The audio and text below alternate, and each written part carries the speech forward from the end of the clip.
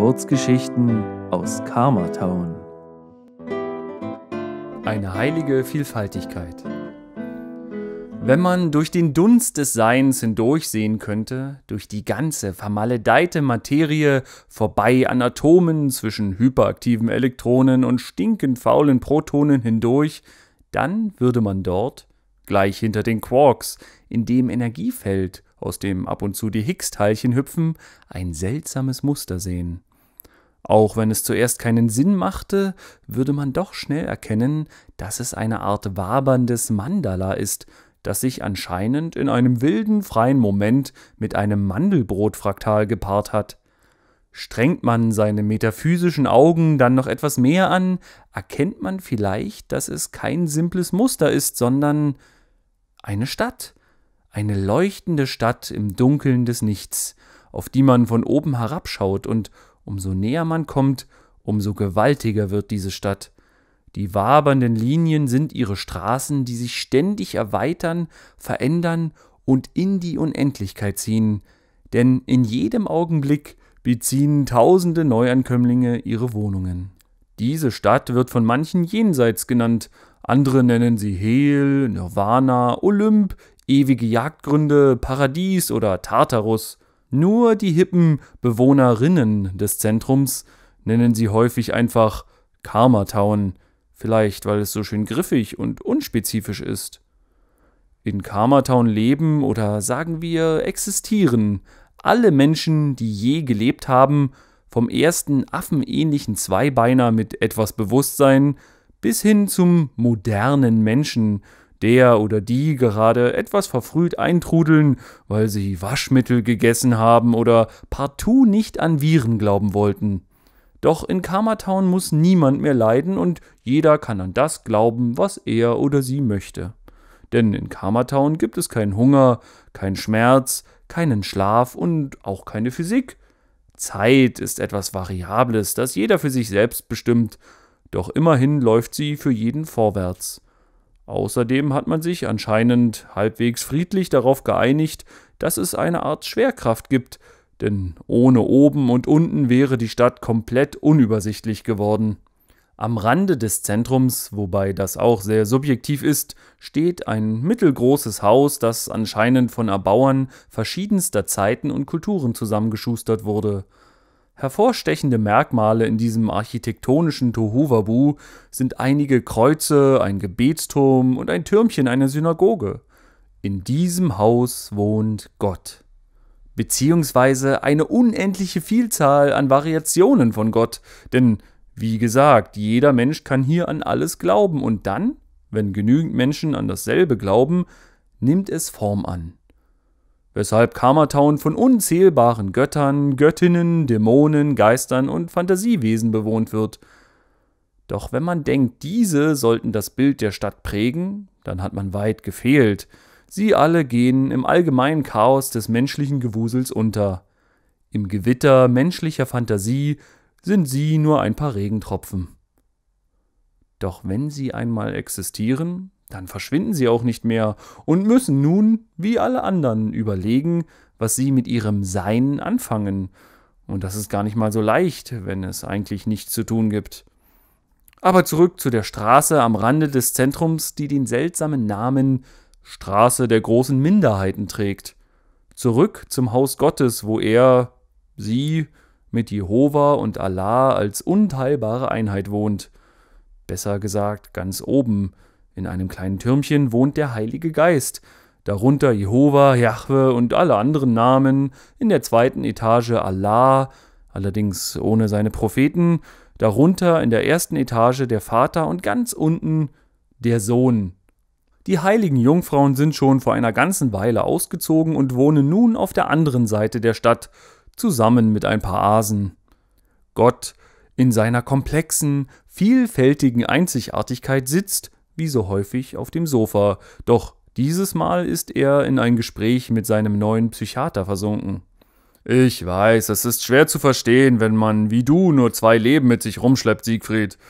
Ich wünschte manchmal, ich wäre wenigstens einer der körperlichen Götter, Diese glücklichen Polytheisten wissen gar nicht, wie das ist, keine richtige Form haben zu können, und dieses allmächtig und allwissend sein nervt auch ziemlich.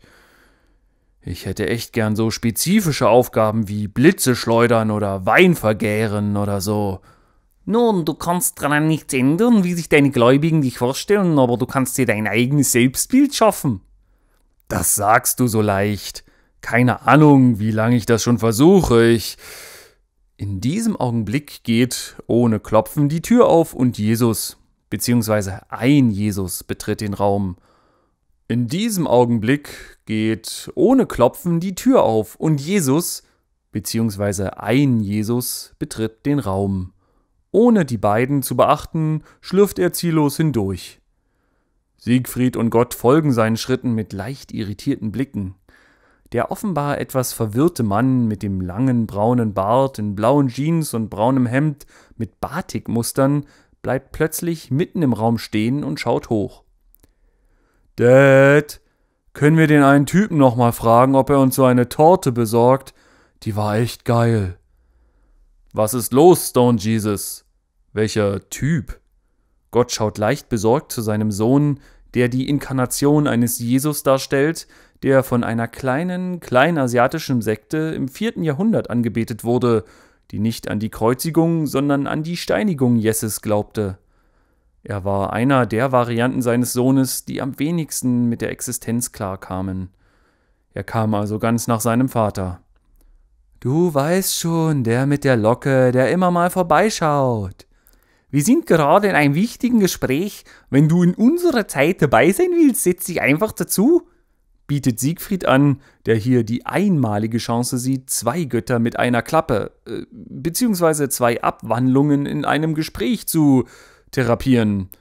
Was machst du zurzeit so, Jesus? Och, ich treffe mich immer mal mit Paul, du weißt schon, dem Ex-Apostel. Der ist jetzt bei den Dadaisten und schreibt die Bibel um. Gott verzieht halb amüsiert, halb verzweifelt die Mundwinkel.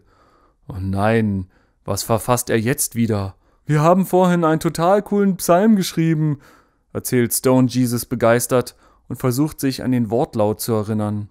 Und siehe, sie trugen rote Wollsocken, auf dass sie das Gras nicht verwechselten.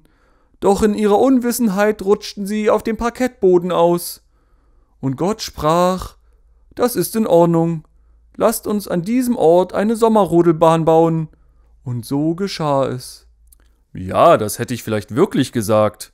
Gott, nur noch zusammengehalten von ein paar Gedankensträngen, ist er unglücklich darüber, dass sein Sohn nun auch dabei ist.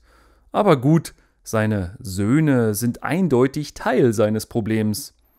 Er versucht den Faden wieder aufzunehmen. Ähm, wie soll ich mir denn ein Selbstbild schaffen, wenn ich in tausend Teile zerglaubt wurde und ausgerechnet dieser Teil, den ich gerade darstelle, einfach kein festes Aussehen hat? Ja, okay, manchmal soll ich wie so ein alter Typ mit Bart aussehen, aber das ist noch das Konkreteste, was ich bekomme. Tausende Namen, aber kein Wesen, nichts Griffiges. Heilige und Propheten, Engel und Teufel, alle haben irgendwas Konkretes bekommen, von dem sie sich wenigstens, ich weiß nicht, abgrenzen können. Aber wenn man nichts Konkretes hat, wie soll man sich dafür oder dagegen entscheiden? Vielleicht musst du endlich Stellung beziehen für das Unkonkrete, wirft Siegfried ein. Über ihn ist Lärm und wütendes Geschrei zu hören und die Zimmerdecke zittert. Stone Jesus verdreht die Augen. Schon wieder. Auf den fragenden Blick von Siegfried erklärt Gott, das ist Allah, er bekommt dauernd Besuch von selbst erklärten Märtyrern und wird dann meistens stinksauer. Er kann selbstverliebte Mörder nicht leiden. Aber Allah ist doch ein spannender Aspekt deiner Persönlichkeit. Immerhin gibt's von ihm wirklich keinerlei Darstellung. Kommt er gut klar damit? Gott stöhnt und hält seinen Kopf mit einer Hand, die im nächsten Moment nicht mehr existiert, so wie auch sein Kopf. Ja, das ist ja das Problem mit der Vielfältigkeit. Er hat konkrete Regeln und genießt es geradezu, jede mögliche Form anzunehmen. Aber da wir eigentlich ein und dasselbe sind und gleichzeitig so viele Gläubige glauben, dass wir es nicht sind, Ah, ich könnte durchdrehen. Ich verstehe, nickt Siegfried wissend. Sie können nicht eins werden, da die Gläubigen nicht daran glauben wollen, aber sie sind auch nicht voneinander zu trennen, wie verwachsene Zwillinge.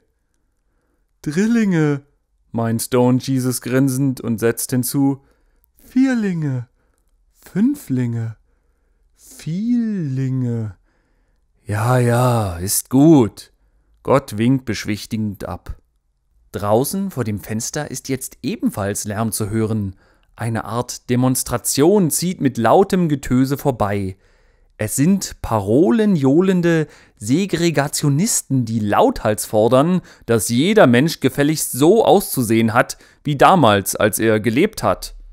Ohne echte Hautfarben kann man nämlich gar nicht mehr so einfach im Vornherein festlegen, wen man jetzt nicht leiden kann. Gott schaut abschätzig aus dem Fenster. Naja, lieber vielfältig als einfältig. Siegfried setzt sich mit einem leeren Gesichtsausdruck, der wohl schlau aussehen soll, aufrecht hin und schiebt sich seine kleine Brille zurecht, die er extra dafür erschaffen hat. Lieber Gott, eh. Ach du Gott, so war das nicht gemeint. Entschuldigung, alte Sprachgewohnheiten. Oh Gott, was mach ich nur? Ach, zum Teufel. Ein roter Kopf, völlig ohne Hörner, schaut durch ein Loch in der Wand in das Zimmer. Hat jemand gerufen? Ich wollte eigentlich Holy besuchen. Gott winkt ab. Nein, nur die alten Sprüche, du weißt ja. Holy ist oben im Turm, nett dich zu sehen. Grüß Luzi von mir, falls ihr euch trefft. Während der Kopf und das Loch wieder verschwinden, richtet Siegfried etwas pikiert seinen Blick wieder auf Gott. Gott, wie wäre es, wenn du einmal versuchst, für ein paar Zirkel jemand ganz Konkretes zu sein? Einfach um ein Gefühl dafür zu bekommen, wie das ist. Gott schaut nachdenklich. Stone Jesus schaut verwirrt. Äh, wer oder was sollte ich dann sein? Hast du einen Vorschlag? In diesem Augenblick wird erneut die Tür ohne jede Vorwarnung aufgerissen. Ein runder Mann mit schwarzer Haartolle stürzt herein und drückt die Tür hinter sich zu. Hi Leute, kann ich mich wieder eine Weile bei euch verstecken? Ich werde wieder von diesen Verrückten verfolgt, die glauben, dass ich noch lebe. Seine warme, melodische Stimme klingt etwas panisch. Der Tortentyp, ruft Stone Jesus erfreut. Elvis, sagt Gott sehr freundlich. Na klar, komm rein. Haben Sie gesehen, wie du hergekommen bist? Ich hoffe nicht. Hey, Stony, soll ich dir wieder eine Torte machen? Ja? Die beste, an die ich mich erinnern kann. Siegfried sieht die erneute Störung eher mit ungeduldigem Blick. Er wollte gerne noch etwas erreichen, aber anscheinend hat sich Karmatown gegen ihn verschworen. Zudem kann er mit Elvis nicht viel anfangen. Er kennt ihn kaum, da er das Leben schon früher verlassen hatte. Während Elvis also eine sehr schmackhaft aussehende Schwarzwälder Kirschtorte aus seiner Erinnerung entstehen lässt, bebt plötzlich leicht das Haus. Allah wieder? fragt Elvis. Gott schüttelt entnervt den halbexistenten Kopf. Nein, das kam eindeutig von unten. Ich glaube, du hast doch Gäste mitgebracht. Na toll, und was jetzt? Ich will nicht mehr wegrennen, die finden mich eh überall. Und ich kann ihnen ja auch nicht helfen und sie ins Leben bringen. Hm, kannst du vielleicht? Elvis schaut Gott flehend an, doch dieser muss verneinen. Nein, ich hab davon keine Ahnung allmächtig hin oder her, ich war noch nie im Leben. Plötzlich stellt sich der euphorisch wirkende Siegfried zwischen die beiden. Ich habe eine Idee, wie wir eure Probleme zumindest vertauschen können. Vertauschen? Wie meinst du das? fragt Elvis misstrauisch. Nun ja, ihr könntet doch mal tauschen, also Gott wird Elvis und Elvis wird eine unkonkrete amorphe Existenz. Ein Versuch wär's doch wert. Siegfried lächelt hoffnungsfroh. Elvis ist skeptisch. Das soll funktionieren? Naja, wenn ihr daran glaubt, das ist immerhin Karma Town. Ja, warum nicht? entscheidet sich Gott und wendet sich an Elvis. Glaubst du, dass ich allmächtig bin? Das ist wichtig. Ja klar, du bist Gott. Na dann? In einem Moment sind da Gott und Elvis und im nächsten Moment sind da Elvis und Gott nur dass sie die Plätze vertauscht haben. Elvis Gott schwebt als transparente, undefinierbare Wolke im Raum und scheint den neuen Zustand zu genießen. Na gut, ich mach mich dann mal dünne, sagt er und verschwindet. Gott Elvis schaut auf seinen neuen, festen Körper und scheint ganz angetan. In diesem Augenblick wird die Tür zum dritten Mal ohne jegliche Höflichkeit aufgerissen und eine Gruppe wild entschlossener Elvis-Anbeter stürmt in den Raum. Elvis lebt! kreischen sie laut und stürzen sich auf Gott Elvis. Moment! Die kräftige Stimme ihrer Anführerin lässt die Fanatiker erstarren. Das ist nicht Elvis, er sieht nur so aus. Aber wer ist er dann? Ach, das ist nur Gott. Gott? Welcher Gott? Na Gott, Gott. Ihr wisst schon, Bibel und so. Ach so. Die Stimmung schlägt in gereizte Enttäuschung um. Oh Mann, oh. Elvis ist schon wieder abgehauen. Wahrscheinlich ist er ins Leben zurück. Warum kann er uns nicht einfach mal mitnehmen? Schweigend sehen Gott Elvis, Siegfried und Stone Jesus zu, wie die Elvis-Anbeter den Raum mit hängenden Schultern verlassen. Dann lächeln sie sich ein wenig selbstzufrieden an. Stone Jesus holt ein Messer und drei Teller hervor. Will jemand ein Stück Torte? Niemals zu Ende.